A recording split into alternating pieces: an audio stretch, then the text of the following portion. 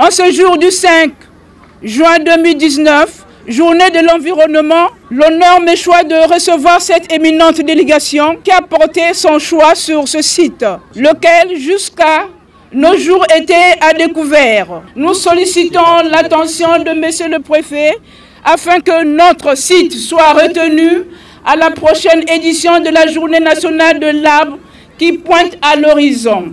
Finalement, nous vous souhaitons la bienvenue au complexe scolaire de Vindolo. Ce mot de bienvenue de la directrice du CG de Vindolo donnait le top de la célébration de la 47e journée mondiale de l'environnement en présence des autorités civiles et ceux de la police de la ville océane. C'est sur le thème la pollution de l'air que l'événement est célébré cette année. Un thème qui met en relief les atteintes graves à l'atmosphère du fait des émissions atmosphériques et la nécessité de la préserver. Aimé Liliane Rita Ewani, la directrice départementale de l'environnement de Pointe-Noire sur le bien fondé de cette journée, chacun prenant ses engagements en faveur de celui-ci. La qualité de l'air au niveau du développement de Pointe-Noire est réglementée, alertée par les émissions atmosphériques inhérentes aux activités humaines. Pour ne pas rester insensible à cette question du monde, c'est de la préservation de l'environnement.